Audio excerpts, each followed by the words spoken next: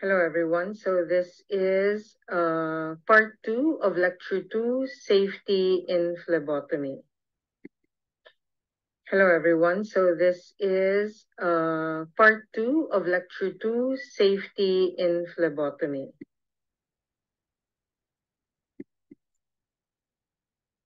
Okay, so the learning objectives for uh, this topic are the following. So at the end of this lecture, the student should be able to describe proper donning and doffing of the PPE that we use in the laboratory to explain the different isolation techniques, to identify hazards and warning symbols, and to create actions to take if ever the given incidents occur in the laboratory. And finally, to be able to explain the importance of uh, following safety guidelines.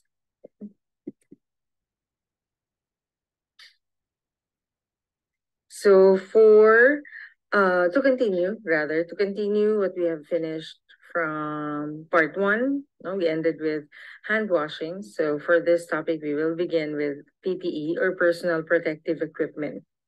Okay, so this includes uh the disposable hoods, uh, disposable gowns, masks, gloves, eye gear or face shields, and uh, booties or shoe cover. Okay, so personal protective equipment is very important because it will protect the phlebotomist from infectious material from getting into his or her clothes, on his or her skin, and mucous membranes. Okay, so the employers should be able to provide this equipment for free, okay, and should be able to maintain its supply and clean no, other equipment at no charge at all to the phlebotomist. Okay, so let's start with the gloves. Okay, so why do we have to use gloves in the laboratory? Okay, so there are technically three reasons why gloves should be worn in the lab. Okay, so first, it would help us prevent healthcare associates from uh, transmitting their own microflora to the patient. It would be also a good way to prevent transmission of microorganisms from one patient to another. And lastly, to prevent the associate or the phlebotomist from becoming infected with whatever is infecting the patient. Okay. Now for the mask, okay, so we use this to prevent transmission of infectious agents through the air. So there are several types of masks, as you have probably seen and worn. Okay, so we have the paper mask, which is the most uh, economical and efficient. And then we have the fluid proof mask, which is available for work conditions, especially when splattering of uh, body fluids or blood is likely to occur. Okay, and remember to use your mask around, you know, uh, it should be worn up to cover the nose and the mouth, and it should not be worn around the neck. Okay. And then it is effective only if it uh, remains dry. Now, once the mask becomes moist from breathing, uh, you'll need to have it changed, okay, into a fresh one, okay?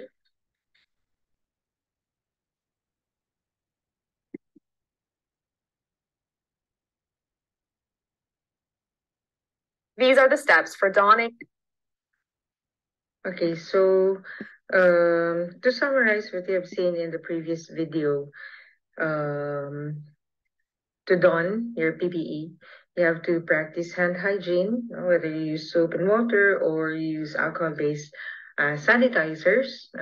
Then you put on your gowns, and then your mask, and then your uh, eye, eh, eye gear or goggles. And then the last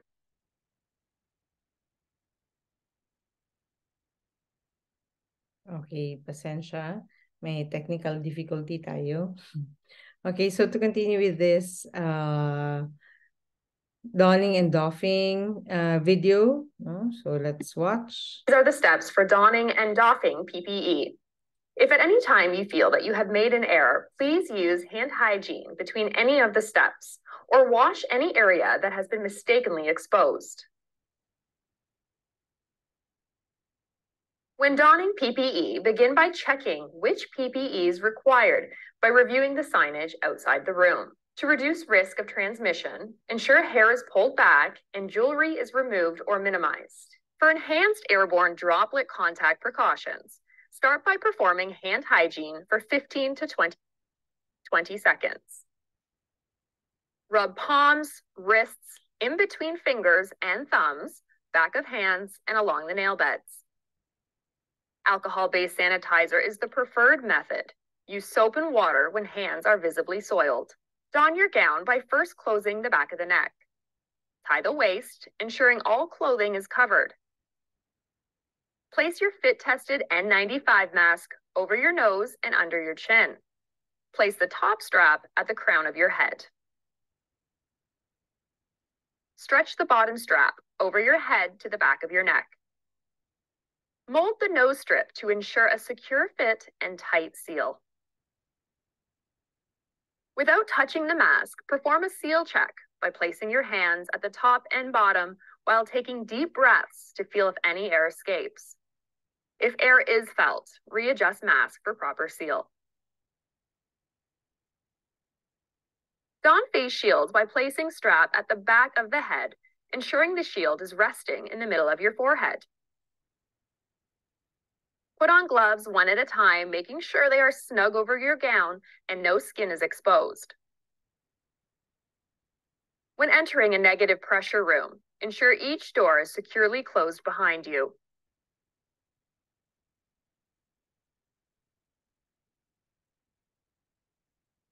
When doffing your PPE, step into the anteroom, ensuring the door is closed behind you. Remove the first glove by pulling it up and away from the middle of your palm, ensuring no skin contact. Hold glove in the other hand. To remove the second glove, place a finger inside the clean area of the glove and push it off, balling up both gloves together. Throw into the garbage. Remove your gown by first opening at the neck and then at the waist. From the back of the neck, take the gown and slowly pull it out and away from you. Ensure you are only touching the inside of the gown as you roll into a ball and then throw into the garbage.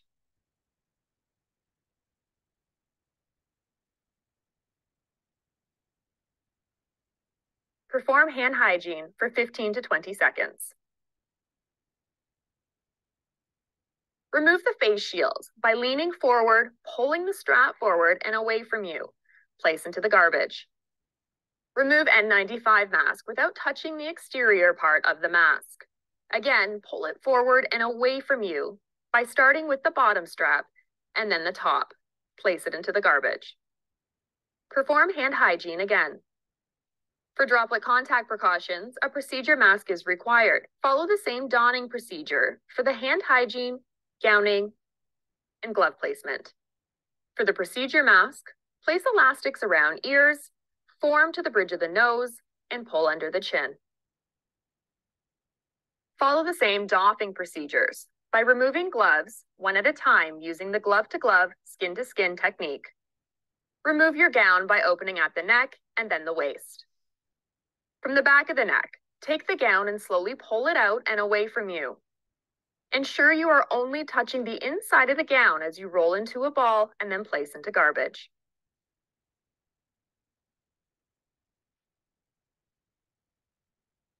Perform hand hygiene. When doffing a procedure mask, carefully remove straps from ears and pull forward and, and away from your face and body. Perform hand hygiene again. Okay. So note, no? Parang every point, kailangan merong hand hygiene. Okay? Okay, so um, to, to summarize what you have seen in the previous video, um, to don your PPE, you have to practice hand hygiene, whether you use soap and water or you use alcohol-based uh, sanitizers. Then you put on your gowns, and then your mask, and then your uh, eye, eye gear or goggles. And then the last PPE to be done would be your gloves. Okay. And then when you need to doff or remove your PPE, the first thing to go would be your gloves, and then your gown, and then your eye shield or your face shield or your uh, goggles, and then your mask. And then, of course, at the end, practice hand hygiene. Okay, so to continue, isolation techniques. No? So we have already discussed this partially when we did the part one. So isolation techniques are in place to break the link at the transmission point. Okay, so by isolating the patient, you'll be able to limit okay, the transmission of uh, the infectious agent to the next host. No? So uh, the contact time a patient has to spread infection is limited by isolation techniques. Okay, so uh, isolation may be done in three ways. Okay, we have the category specific isolation, disease specific isolation, and transmission based isolation. Now, moving on to or to talk about it about uh, isolation in depth. Okay, so let's check out each of those mentioned types of isolation. So for category specific isolation, this would include what we have discussed previously, you know, source and reverse isolation. So when you talk about strict isolation, you know, so this is for patients with contagious uh, contagious diseases like chickenpox, diphtheria, or pneumonia. So this is also known as source isolation. Okay. Now, contact isolation are for diseases that are transmitted through direct contact with a patient, such as uh, scabies, okay, or kuto, okay? Respiratory isolation are given to patients with diseases that are transmitted through air, such as mumps, pertussis, or rubella, because the mode of transmission for these infections are through the respiratory tract. Okay. For tuberculosis isolation, of course, this is the type of isolation specifically given for patients with TB.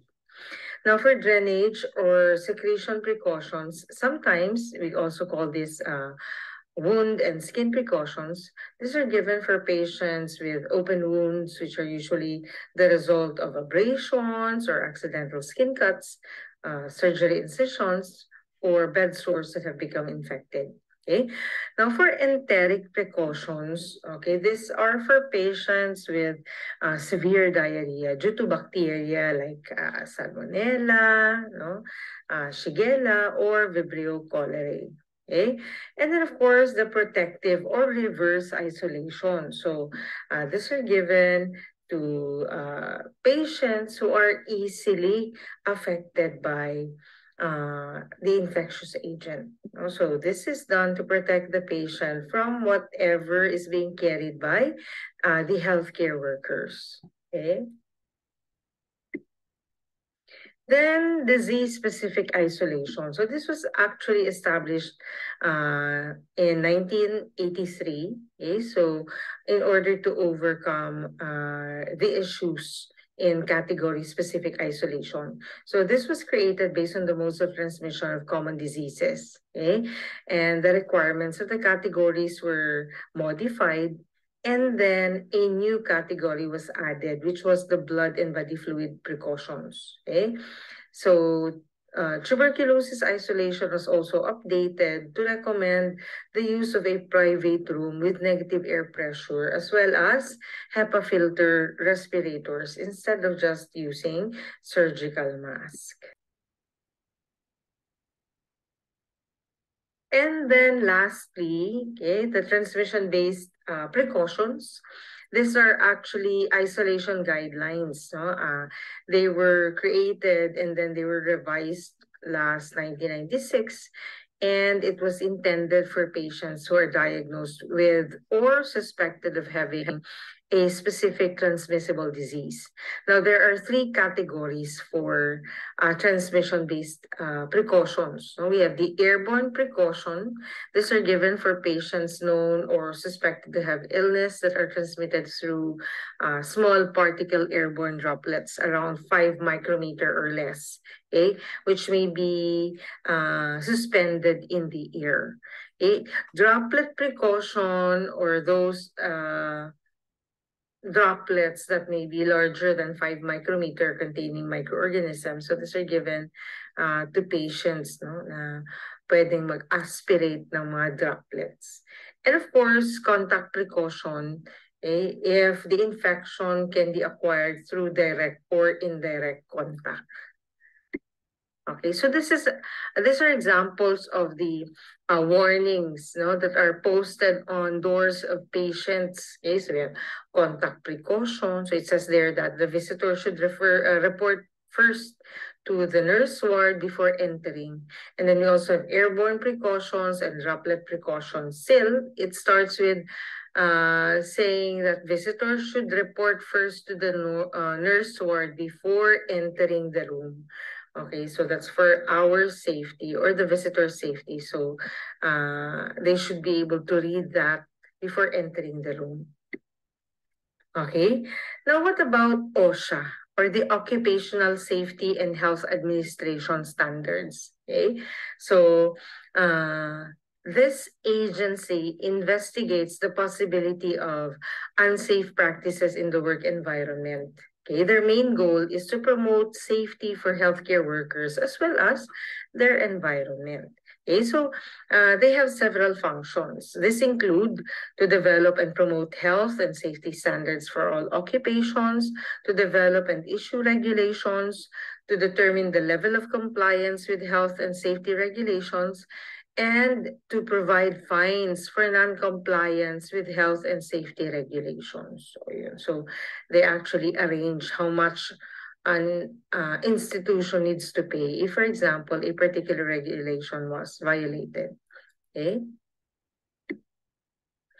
So to better understand safety in phlebotomy, one must understand uh, the definitions that were set by OSHA. So uh, these are some of those definitions. Okay, so one exposure incident. What does this mean? Okay, it's an exposure that can include non-intact skin, which consists of skin with dermatitis, okay, skin with cuts, skin with abrasions, or chafing or acne and so on. Okay. Now for exposure control plan, okay, so uh, this requires the employer to identify the task and procedures in which occupational exposure may occur and to be able to identify um, who among the employees in the laboratory are responsible for performing those tasks. Okay. And then they have the needleless systems. Okay, so these systems are used for collection of body fluids after initial venous or arter arterial access is established.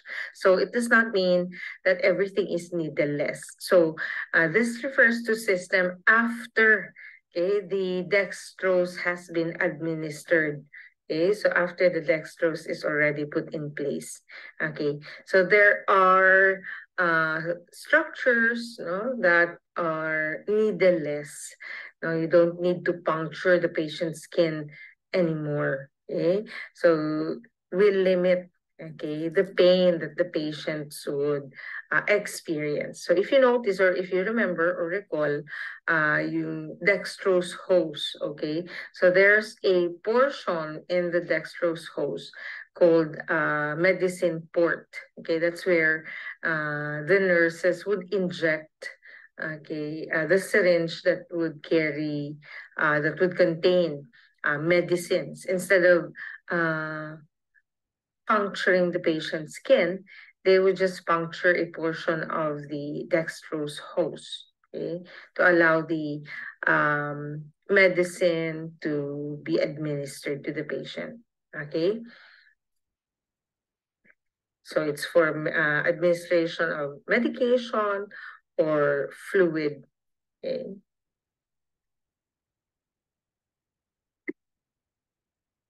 Okay, so surface contamination.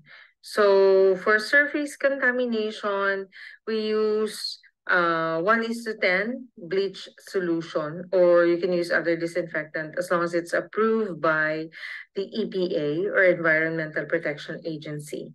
If you're going to use bleach, remember that they should be you know, ideally prepared daily. Okay, and then cleaning must take place at the end of each shift or whenever a surface is visibly contaminated. And whenever you clean, always make sure to wear your gloves. Okay, now moving on to hazards identification. Okay, for hazards identification, this would refer to symbols or labels uh, indicating warning. Okay, so uh, biohazards no, or biological hazards okay, uh, has been identified by CDC and OSHA and it's included in universal precautions. So this would include all blood samples and other body fluids.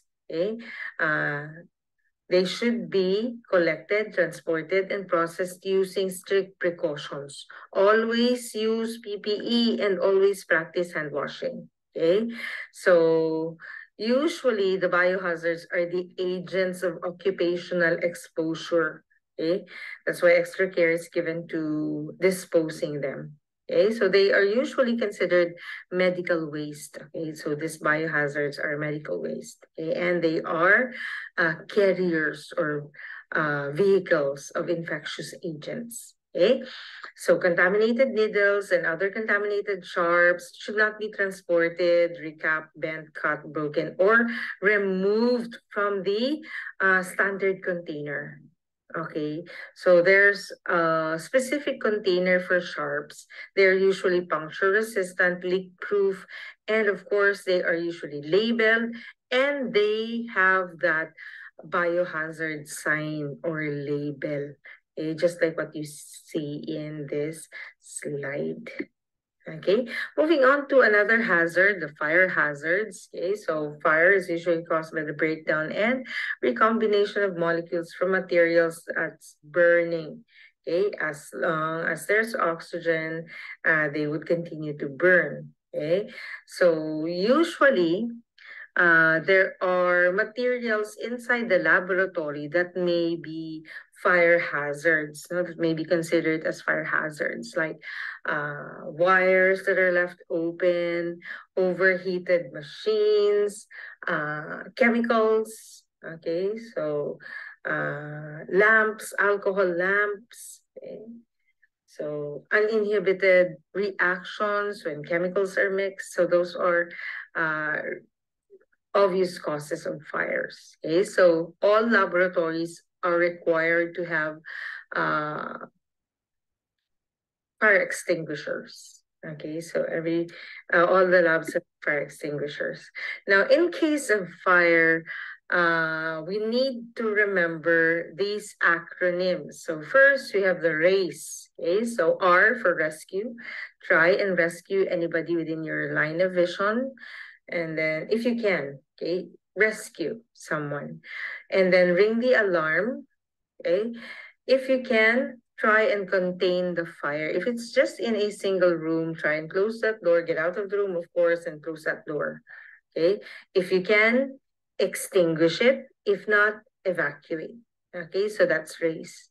So most importantly try and remain calm okay?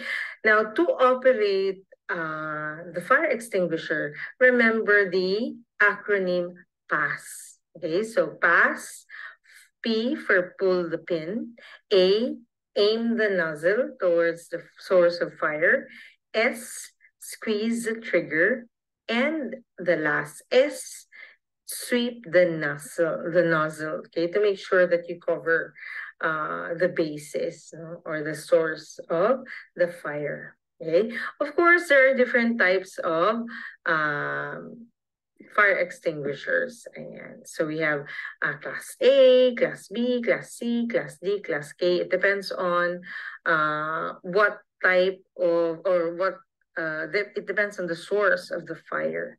Okay, so moving on. electrical hazards. Okay, so marami din tayo nito sa lab. Okay, so the hazards to look for are frayed cords, okay, so that could spark okay, and cause fire, or it could electrocute a uh, phlebotomist, okay. So sometimes, no, uh, plugs without grounding prong can become electrical hazards as well. So ito yung ground prong, okay? So sometimes we have this, okay? The third wheel.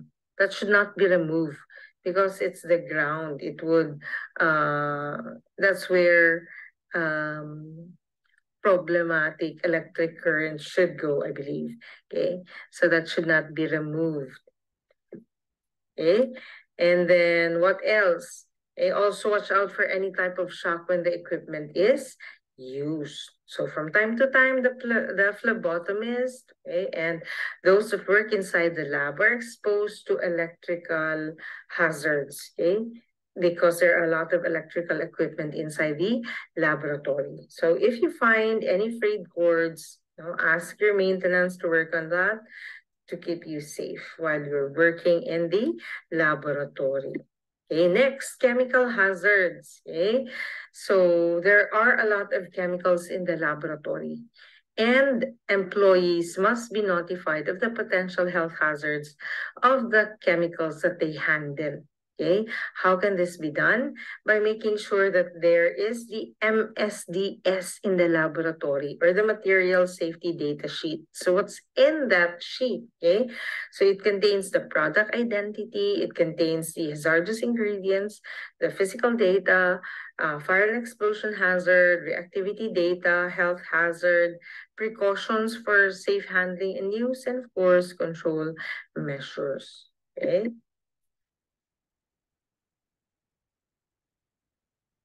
So this is the NFPA or the National Fire Protection Association uh, Hazard Identification System label. Okay, so uh, this portion here, this uh, diamond portion is blank usually. They just have the colors blue for health hazard, four for fire hazard, yellow for reactivity hazard, and white for specific hazards. So that should be filled in Okay, it depends on the chemical. Okay, so for the blue, say it's number two, so it's hazardous. Okay, it's a health hazard.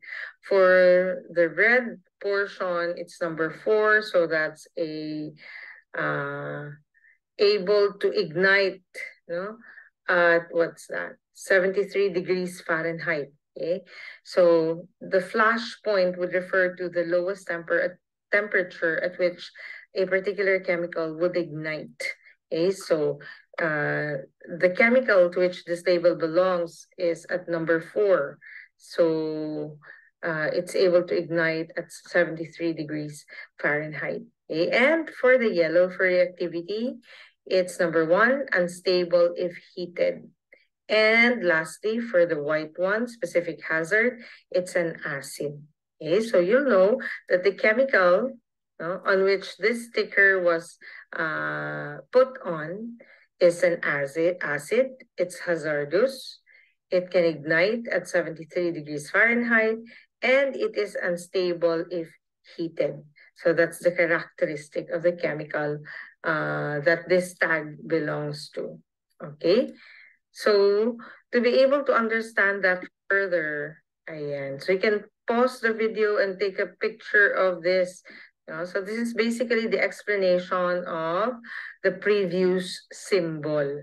Okay, so how to understand that. So the definition of each number is placed here. Okay, so when it's zero, there's technically no problem. When it's four, okay, high risk.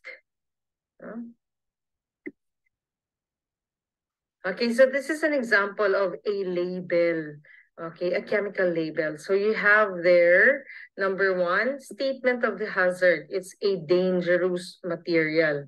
Okay. And the hazard class, it's flammable. Okay. Number three, safety precautions is placed here. Okay. And then number four, it's NFPA uh, hazard code. No? It's a it's a one, a three, and a zero, and then five. The type of fire extinguisher is B. Okay, and then uh, it would require a class B fire extinguisher, and then what else? Number six, safety precautions. Number seven, uh, chemical formula or formula weight. And then lot number there. Okay, so this is the characteristic of the methyl alcohol. Okay, so you can find that in the labels. Okay, so learn to read labels. Okay, next, radiation exposure. Okay, so the principles involved in radiation exposure are distance, shielding, and time. Okay, so the amount of radiation you're exposed to depends upon how far you are from the source of uh, radioactivity or what protection you have from it and how long you were exposed to it. Okay, now monitoring devices for exposure should be worn no, to detect exposure to radioactivity if the phlebotomist is collecting frequently from patients treated with uh, radioactive implants or those returning from uh, nuclear medicine scans. Okay. And then we have latex allergy. Okay, latex is a material made from uh, natural rubber, and it can be found in gloves, tourniquet, uh, blood pressure cuffs, IV tubing, and even bandages. Okay, so since phlebotomists are constantly exposed to latex in the gloves that we use, okay, so they are at high risk. Okay, so uh, reactions to latex can vary from individual to individual. Okay, so it could be itchy irritations to redness and swelling, blistering to uh, urticaria. No? So symptoms may begin as early as 24, uh, as early as uh, two to three hours, no? and then there's 24 to 48 hours, and then there are some, no, uh, where symptoms appear after several days. Okay. Now, the type 1 latex allergy is quite serious. Okay. So, this is type 1. Okay. So, it's characterized by the presence of urticaria or wheals, large raised rashes. Okay. So, the reaction is quite immediate. Sometimes uh, it can be seen within minutes of exposure. The second type is delayed hypersensitivity or contact dermatitis. It's type 4. Okay, so type 4 contact dermatitis is characterized by papular uh, pruritic rashes. Sometimes there's vesicles and blisters like this. No? There are obvious blisters and uh, it looks so itchy. Okay, so the cause is the chemicals in the latex. Uh, they might have been uh, absorbed in the skin. So the reaction can be seen usually uh, several hours to about 48 hours after contact.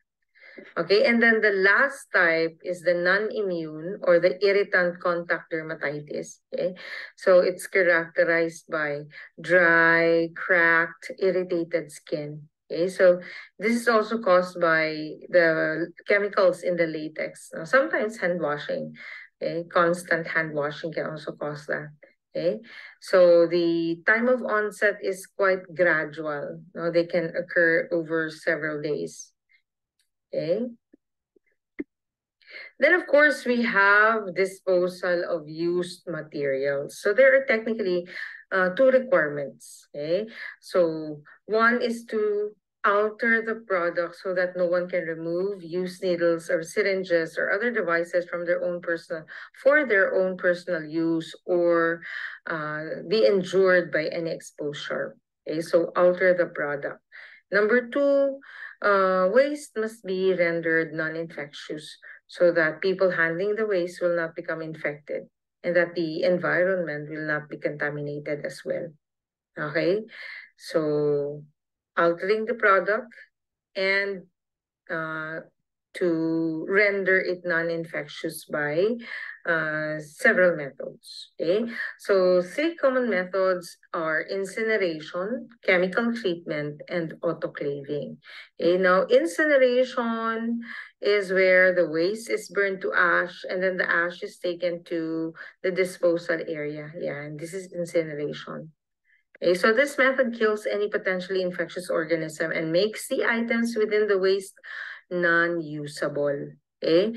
Now, if a healthcare institution does not have its own incinerator uh, that meets the environmental standard, so it can be uh, disposed by a commercial medical waste handler.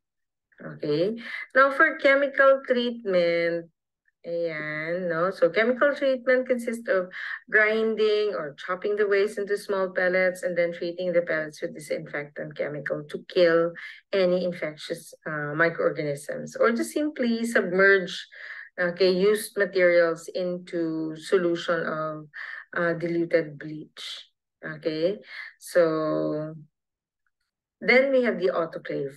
Okay, so the autoclave is actually the uh, perfect type of decontamination. Okay, so uh, you can use this for small operation where only small amounts of waste is generated. Okay, so the waste material is placed inside the autoclave and then it will be uh, processed okay, for about an hour, but the actual autoclaving is only 15 minutes. The temperature required is 121 degrees Celsius under pressure. Okay, so 15 pounds per square inch. Okay, so 15 minutes, 15 pounds per square inch. Okay. So the importance of following safety guidelines. Okay, so uh, it's actually twofold. Okay, so uh, following safety guidelines is for our safety and for the safety of our patients as well. Okay. Now, if the infrastructure of your laboratory or your workplace does not follow uh, the OSHA uh, guidelines and it was found out during an OSHA inspection, expect that you'll be given a penalty or a fine. You'll be required to pay fines if you do not follow the OSHA uh, guidelines. Okay. Now, the most prevalent hazard for the phlebotomist is accidental needle sticks. Okay. So, uh, as much as possible, we should use the uh, safety needles that were shown to you last uh, week, right? So our response to accidental biohazard exposure should be as follows. Okay, so immediately wash the exposed area with soap and water. If the mouth area was exposed, rinse it with water or mouthwash. If the eyes were exposed, flush it with large amounts of warm water. Okay, and then of course, do not forget to report the incident to your uh, chief medic. Okay, and then uh, the exposed phlebotomist as well as the source patient must be tested, especially if uh, you are expecting that the patient is positive for HIV or Hep B. Okay, but uh, make sure that both parties give consent. Okay.